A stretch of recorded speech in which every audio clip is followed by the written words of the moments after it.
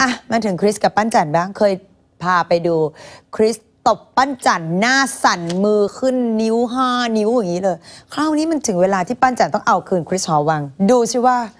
เขามีความสะใจแค่ไหน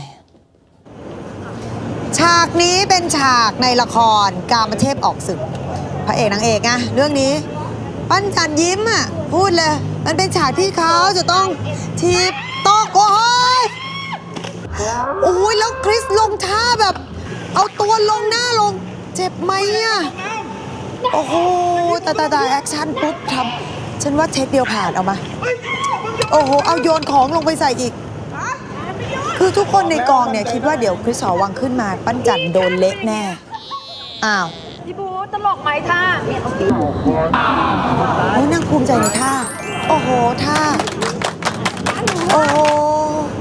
นางไม่ด่าปั้นจันสักนิด เอาฟังเสียงสิ เป็นคิวที่เก็บไว้นานแล้วครับ เก็บไว้นานแล้วก็มาเป็กนคิวที่หนัก ที่สุด ดีไซน์มันมันได้แค่นั้นแหละค่ะ เพราะว่าถีบมาจากข้างหลัง พี่ใหม่ก็ตะโกนมาในในวอลว่า เอาท่าสวยๆนะ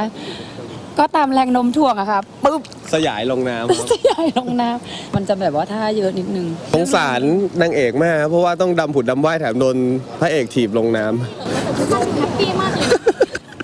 มันตลกอะครับ หนีแม่นี่มันครับ คือตัวตนของมันไง คือตัวตนของมันไง ก็บอกเลยเนี่ยพระเอกอะ มันโดนเยอะจริง ๆ เพราะฉะนั้นวันหนึ่งที่ได้เอาคืนสบายใจ